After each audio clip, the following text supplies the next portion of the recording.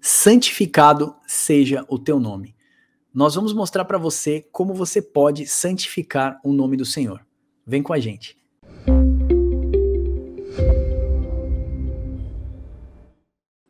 Paz do Senhor, Uber, seja muito bem-vindo. Vamos entender como que a gente pode santificar o nome de Deus? Olá, vamos entender como podemos santificar o nome de Deus e se é possível nós, seres humanos mortais, é, levados ao pecado por conta de Adão, com essa carne pecaminosa, podemos santificar o nome de Deus e como podemos fazer isso, né? Verdade, irmãos, verdade. Olha só, deixa eu até abrir a Bíblia aqui para vocês em Mateus 6, uh, ah, Mateus 6, 9. Olha isso. A, a, batizada, né? Vamos dizer batizada, porque essa não é. Uh, Jesus não deu o nome de oração do Pai Nosso. Quem deu o nome de oração do Pai Nosso foram os homens, tá? Portanto, vós orareis assim: Pai nosso que estais nos céus santificado seja o teu nome, e aí vem o teu reino, etc. Então, Jesus ensina que o homem deve orar pela santificação do nome de Deus. Olha, será que nós podemos santificar o nome de Deus? Primeiro, eu quero fazer uma pausa e dizer para você que, se você quiser fazer download desse e-book, na verdade, esse e-book só tem uma página, tá? É, a gente queria fazer mais um bate-papo com vocês para a gente explicar essa questão do, do, nome santo do Senhor. Então, se você quiser fazer download, tem aqui embaixo, e lá no nosso site você já sabe que tem cursos e certificados gratuitos para você em mais de 170 e-books. O Ministério do Papo com Deus é um, um projeto evangelístico que visa servir a Igreja de Cristo e edificar o povo santo. Agora, voltando aqui para o texto.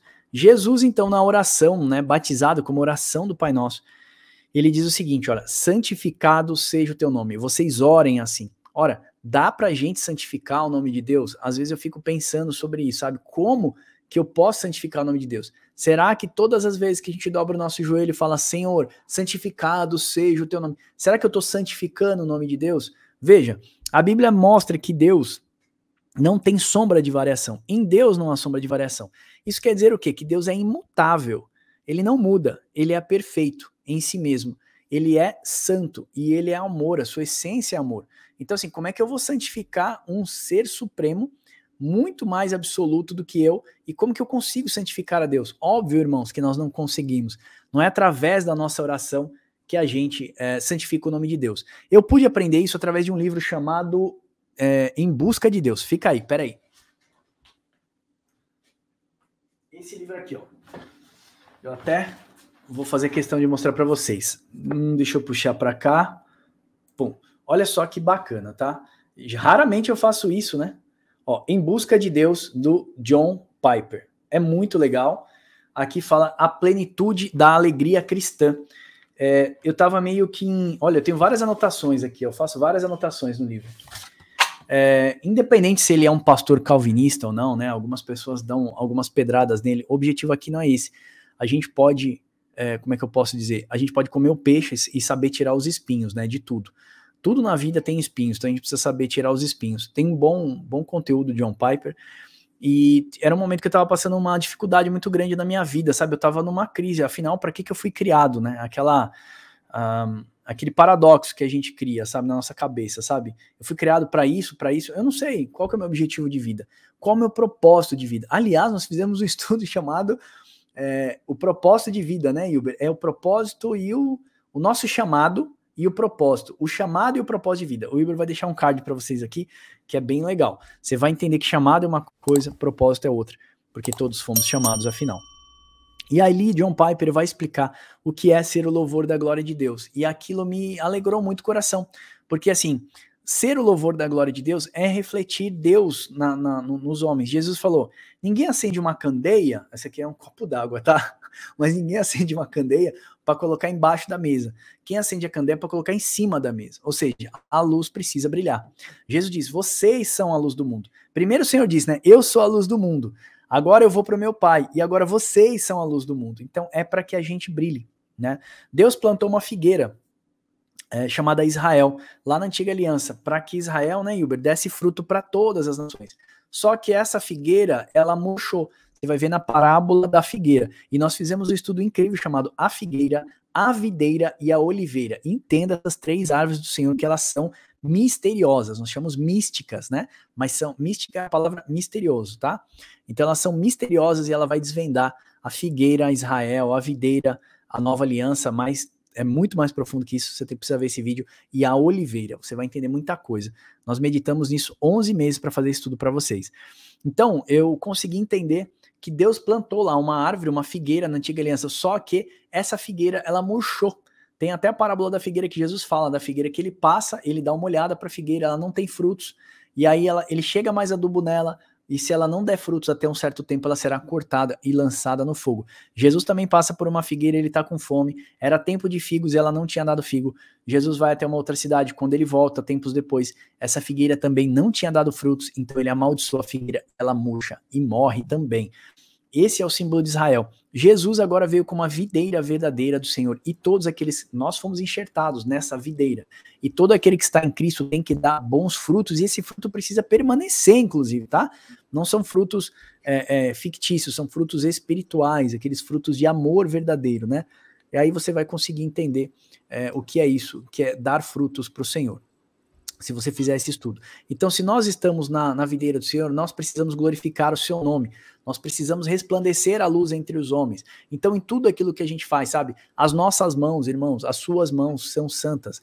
A Bíblia fala isso: levantais mãos santas ao Senhor. O nosso corpo é templo do Espírito Santo. Você precisa oferecer sacrifícios agradáveis ao Senhor todos os dias, seja através das suas orações, que são incensos agradáveis, o seu choro são ofertas de libação, o seu sacrifício de não pecar, de estar em frente ao pecado e você recusar o pecado, se sacrificou o seu corpo, matou o seu corpo é, é, em, em prol do sacrifício vivo do Senhor.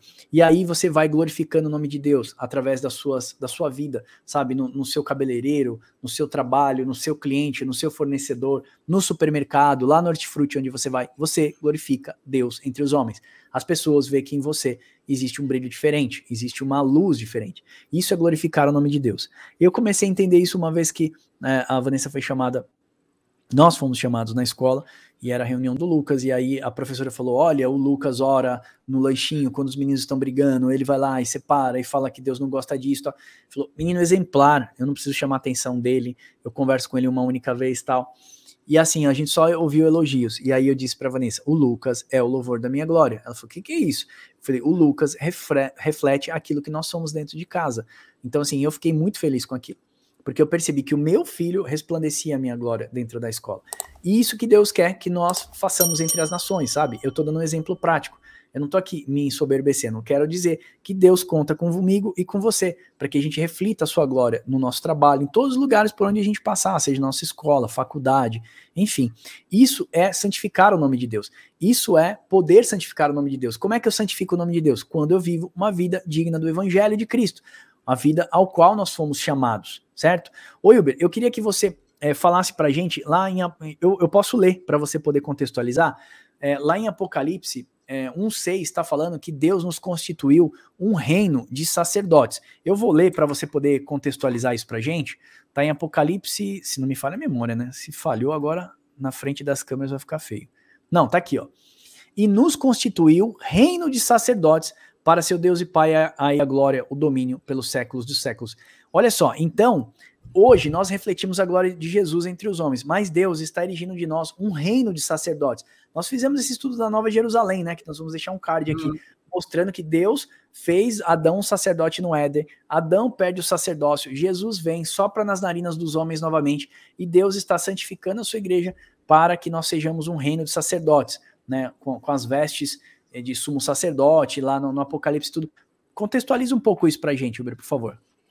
Então, a gente percebe que uh, santificamos o nome de Deus quando Deus ele nos constituir como reino de sacerdote, como o Max falou, por quê? Porque os sacerdotes, eles levam a glória de Deus com ele. Então, uh, conforme nós estivermos no nosso ofício sacerdotal no milênio, é, com as nações que restaram, nós estaremos o quê? Santificando o nome de Deus para essas nações, levando o nome de Deus para essas nações. Logo, nós nos tornamos uh, um com o Cristo. Nós somos o rei, o reino, o rei, os reis, né? Cristo, o sumo rei, o, o sumo sacerdote, nós somos os sacerdotes normais, e é, por esse modo, nós vamos e santificamos o nome de Cristo às outras nações. E o que o Max falou é uma coisa muito, muito importante. E Paulo ele vai tratar muito sobre isso, que está em 2 Coríntios 3, que ele vai falar assim: Vós sois a, a, nossa carta, escrita em nossos corações, conhecida e lida por todos os homens. Ou seja, nós somos a carta de Deus, lida por todos os homens. Como assim? A nossa vida é a carta de Deus. E conforme nós vivemos uma vida conforme as leis morais de Deus, a santificação, o arrependimento, é, de, é, dando bons frutos para Deus, nós estamos sendo essa carta viva e estamos sendo lido pela nossa sociedade, ou seja, no trabalho, no cabeleireiro.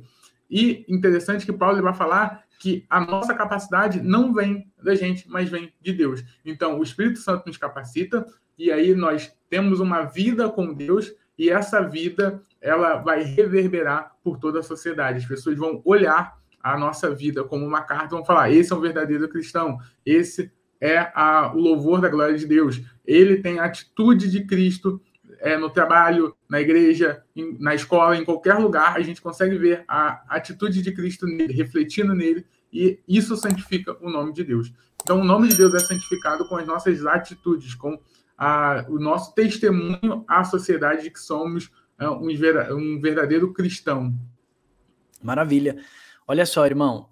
Antes as leis do Senhor eram escritas em tábuas de pedra. Hoje elas são escritas no nosso coração e na nossa mente pelo dedo de Deus. Nós fizemos um estudo sobre o dedo de Deus. É o Espírito Santo do Senhor quem escreve na nossa mente e no nosso coração. Olha o que Provérbios 28, 9 diz: O que desvia os ouvidos de ouvir a lei, até a sua oração será abominável, Senhor. Qual que é a lei de Deus? amar o nosso próximo como a nós mesmos abrange todo o relacionamento entre os homens.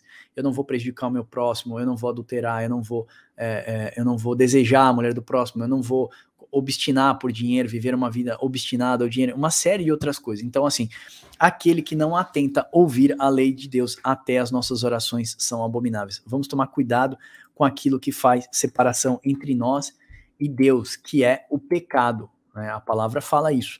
Os vossos pecados fazem separação entre vós e o vosso Deus. Está lá no livro de Isaías, não me falha a memória. É, acho que Isaías 59. Então nós sabemos que o pecado faz separação entre nós e nosso Deus. Olha, guardemos a nossa vida para que a gente possa santificar o nome de Deus. Como Paulo fala, eu quero apresentar vocês como noiva, virgem, pura, santa, imaculada ao Senhor Jesus Cristo. O que ele está mostrando? Sem contaminação, sem pecado, sem idolatria do dinheiro, uh, de tudo que você possa imaginar, todos os erros que uh, uh, o homem deseja, né? Todos os desejos do homem está lá em 2 Timóteo. Deixa eu ver se eu lembro agora aqui. Eu, eu até tinha anotado em algum lugar. Tá em Timóteo. Ah, não vou lembrar agora. Não, tá lá em Timóteo é, 2, do 3 ao 5 são os dias difíceis che chegarão que os homens serão mais avarentos, amantes de si mesmos, jactanciosos, arrogantes, blasfemadores, desobedientes. Irmão, tem uma lista lá e a lista não é pequena, a lista é gigantesca. Então, vamos santificar o nome do Senhor hoje. Santificado seja o teu nome. Todas as vezes que eu vivo o louvor da glória de Deus entre os homens. Eu estou santificando o nome do Senhor. Não sei se você lembra, na tampa da arca, é, que era chamada de propiciatório, tinha dois querubins, os dois ungidos do Senhor, guardando a glória de Deus. Eles estão com as asas, né, Hilber? Guardando, eu não tenho essa imagem aqui agora, mas se você não fez o nosso estudo do tabernáculo de Moisés, vou deixar um card para você, você vai aprender. Se você é templo do Espírito Santo, como é que o sacerdote servia no tabernáculo, como que você serve o Senhor nesse templo aqui agora. Os dois querubins guardavam a santidade de Deus. E olha que Deus fala: Moisés, eu vou falar com vocês do meio dos dois querubins na tampa da arca. Olha o que ele está falando. Eu vou falar com os homens, né? Vou, vou traduzir aqui Moisés como o, o, povo.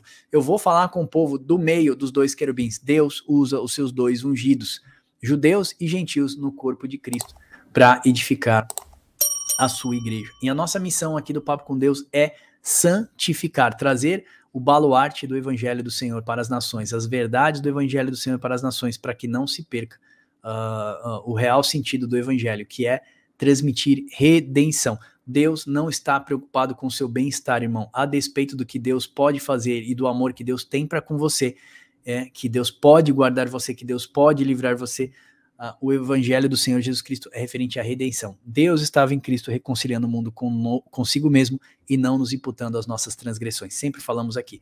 Então, o Papo com Deus visa é, edificar a sua vida, ou seja, edificar a morada do Pai, né, e preparar a noiva do Filho. Amém? Esse é o vídeo que a gente gostaria de fazer com você. Saiba que você é o louvor da glória de Deus entre os homens, então que as suas mãos sejam santas, seus caminhos, seus pés sejam santos, a sua boca seja santa, para que o mundo possa ver Cristo em você. Como o Wilber mesmo disse com muita precisão, somos as cartas que o mundo está lendo. O que, que o mundo tem lido através da sua vida? Mude hoje. Arrependimento não é remorso, arrependimento é mudança de pensamento, mudança de atitude mudança de comportamento, tá bem? Seja o louvor da glória de Deus hoje entre os homens. Esse estudo aí que a gente gostaria de fazer com você. Se você gostou desse vídeo, dá um like aqui. Se você puder mandar esse vídeo pro teu grupo aí da tua igreja, para a gente poder abençoar outras vidas e convidar outras pessoas a vir seguir o Papo com Deus, vai ser uma grande bênção. Não se esqueça que lá no nosso site tem mais de 17 cursos para você ser edificado totalmente gratuito e mais de 160 e-books também que nós já escrevemos todos gratuitos para abençoar a sua vida. Amém? Deus abençoe vocês e até o próximo Papo com Deus.